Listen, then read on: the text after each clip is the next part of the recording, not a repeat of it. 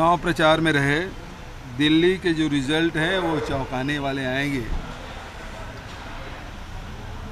ऊपर से भले कुछ दिखाई दे रहा हो, लेकिन ज़मीनी स्तर पर लोगों का जो मूड है, वो कुछ और ही है। इसलिए मैं समझता हूँ कि दिल्ली की जो रिज़ल्ट है, वो चौंकाने वाले आएँगे। राहुल गांधी हुई राहुल गांधी जी से जब जब यहाँ आए थे, आदिवासी नृत्य महोत्सव में, तब उन्होंने कुछ जानकारियाँ मांगी थी। जानकारी भी दी और चर्चा हुई और ये आ, ये विषय हर्ष का है। लोकसभा के चुनाव के बाद पहली बार बैठक के वो छत्तीसगढ़ से शुरुआत हुई है। ये खुशी की बात है। और कोई बात? कुछ उन्होंने डायरेक्शंस भी दिए हैं पाँच साल में क्या कुछ करना है। तो हमारे नेता हैं हमको तो बताएँगे ही। सर एक सवाल और था। हाल सीमेंट के दाम लगातार उस पर बढ़ रहे हैं। उसके नेता प्रतिपक्ष ने कहा है कि सरकार का संरक्षण प्राप्त है इसलिए लगातार है। बिल्कुल ठीक कह रहे हैं। केंद्र सरकार का पूरा संरक्षण है। इसका से बढ़ा रहे हैं क्योंकि सारे दाम अब तो केंद्र सरकार से निर्भर निर्धारित होते हैं। धान खरीदी को लेकर कुछ फैसला लेने का मौसम बहुत दिनों दो दिन से खराब स्थिति में है। देखिए अभी बारिश हो रही है। किसानों के धान निश्चित रूप से दो दिन में आ, नहीं आ पाए हम लोग नज़र रखे हुए हैं। और अभी तो पंद्रह तारीख अभी दूर है। अभी एक सप्ताह है इसमें कितने धान बिकते हैं नहीं बिकते हैं वो देख लेते हैं। दिल्ली आठ तारीख को कैबिनेट की बैठक है कुछ इसलिए कि बजट के पहले मीटिंग करनी होती है। वो बैठक आठ तारीख करें क्योंकि उसके बाद आ, अमेरिका यात्रा में रविवार दस दिन मैं बाहर रहूँगा अधिकारियों के साथ और उसके तुरंत बाद फिर विधानसभा शुरू हो जाएगा तो बजट बैठक रखने में विलम्ब हो जाएगी क्योंकि उसके बाद फिर सारी छपाई वगैरह सब शुरू होता है। इसलिए आठ तारीख को बैठक रखी है।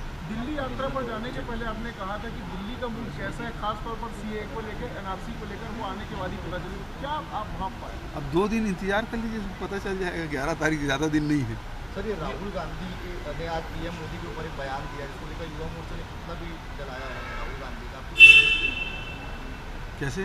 राहुल गांधी के ऊपर जो पीएम मोदी के ऊपर एक बयान दिया क्या बयान दिए जनता अगर ऐसे ही चलता रहा छः महीने के बाद मोदी का निकलना बंद हो जाएगा युवा जो है ढूंढेंगे उनको। बिल्कुल ठीक कह रहे हैं अब।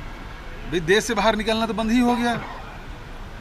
नहीं तो हमारे बहुराष्ट्रीय प्रधानमंत्री थे जो देश में कम विदेश में ज़्यादा रहते थे लेकिन जब से अमित शाह जी ने सी और एनआरसी की बात कही है, तब से उनका विदेश यात्रा बंद हो गया। विदेश से आने वाले जो अतिथि थे, उनका भी आना बंद हो गया है।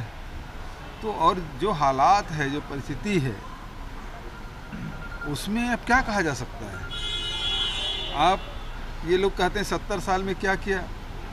सत्तर साल में जो हम, हमारे नेताओं ने निर्माण किया, हमारी सरकारों ने जो निर्माण किया, उसको बेच रहे हैं। रेल बेच रहे हैं। एयर इंडिया बेच दी, बेच रहे हैं। ओ से पैसा निकाल लिए हैं। जितने भी हमारे स्टील प्लांट है, वो भी बिक रहे हैं। यही तो हम सत्तर साल में बनाए थे, जिसको बेच रहे हैं। नहीं तो नरेंद्र मोदी जी तो शौचालय का अलावा कुछ बनाया ही नहीं है। बेचने के लिए रहता क्या फिर? अबुजमाड़ से एक बहुत अच्छी शुरुआत हो रही है आठ तारीख को मैराथन तो उसमें आप भी शामिल हैं। क्या कंसेप्ट है इसके पीछे? अबुजमाड़ के आदिवासियों को जोड़ना या नक्सल देखिए एक इस बात का मुझे संतोष है कि नगरीय निकाय चुनाव में और पंचायती राज चुनाव में एक भी नक्सली घटना नहीं हुई। जबकि रिकॉर्ड है कि पिछले जब चुनाव हुआ था तो 80 घटनाएँ हुई थी।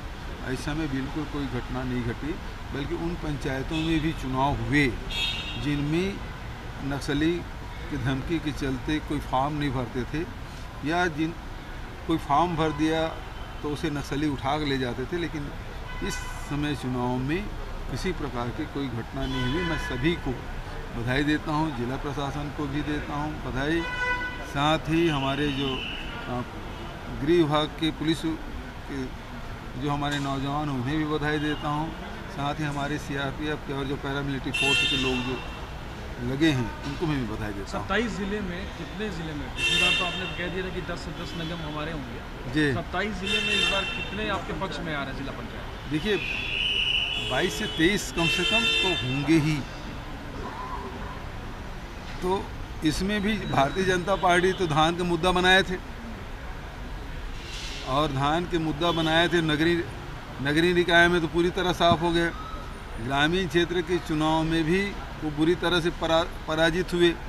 जनपद में भी 146 में से कम से कम 118 सीटें हमारी आएगी। तो उसमें भी साफ़ है सरपंचों की तो फिर कोई गिनती ही नहीं इनके पास।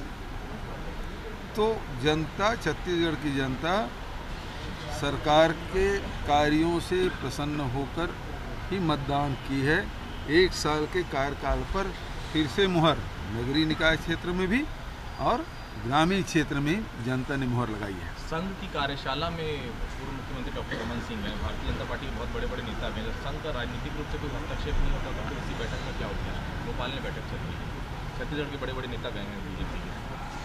देखिए ये एकमात्र राजनीतिक दल है। बहुत सारे राजनीतिक दल हिंदुस्तान में उसके अनुसांगिक संगठन होते हैं। लेकिन अकेला भारतीय जनता पार्टी है जो खुद आरएसएस के अनुसांग अनुसांगिक संगठन है।